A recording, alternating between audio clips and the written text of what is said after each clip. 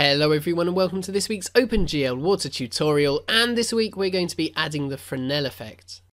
So the Fresnel effect describes how the reflectivity of the water changes depending on the viewing angle, so water appears more transparent when looked at from above but more reflective when looked at from a low angle like this. A simple Fresnel effect is actually pretty easy to calculate, so here we've got a water surface with the surface normal pointing upwards, and we need to calculate how reflective the surface should be depending on the camera's position. As I just showed, when the camera views the water from above, the water should appear more transparent, and when viewed from a low angle, it should appear more reflective. If I add in the vector pointing from the water to the camera, you can see that the water should appear more transparent when these two vectors are pointing in the same direction, and more reflective when the vectors are pointing in different directions. So the more these vectors are pointing in the same direction, the more transparent the water should be. And if you remember from the lighting tutorials, we can take the dot product of two vectors to find out how much they're pointing in the same direction. The dot product returns 1 when two unit vectors are pointing in the exact same direction, and it returns 0 when they're perpendicular to each other. So in this case, the dot product of the water's normal and the vector pointing to the camera represents how transparent the water should be. And I can actually show you this effect in real life here because I've got a bowl of water and if we have a look at it from above you can see that the water is very transparent. You can't see the reflection of my hand or anything but if we have a look at this from a lower angle, you can see that the water's surface becomes very reflective. So let's get into the code now, and the first thing that we need to do in the water vertex shader is to create a new uniform variable that can take in the camera's position, because we need the camera position to be able to calculate the vector pointing from the water to the camera. So now in the water shader class we need to do the usual stuff, and we need to get the location of that new uniform variable. So let's do that and make sure to spell camera position correctly here. Then down in the load view matrix method, we are going to actually load up the camera's position to that uniform variable, which we can do by calling the load vector method.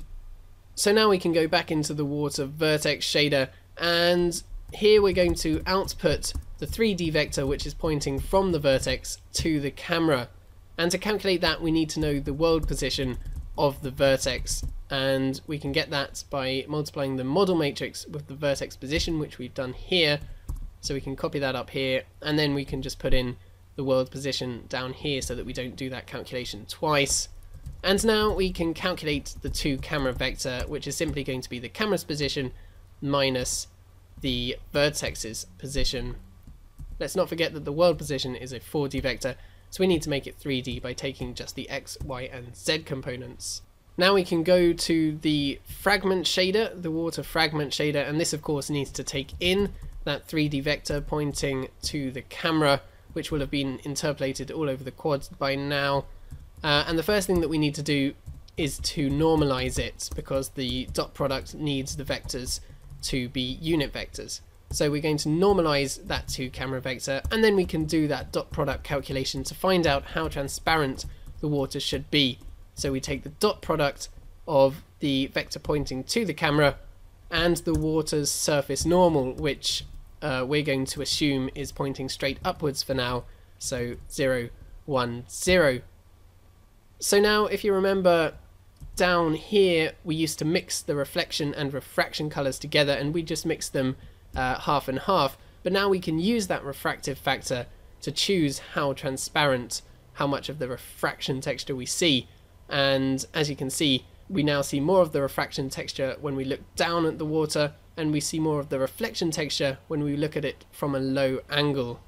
We can also add another line here to change how reflective the water is, and we can do that by raising the refractive factor to the power of a number, and the higher this number, the more reflective the water is. So I've chosen a value of 10 here, which makes the water very reflective, and you can see that it's only transparent when you really look down straight from above.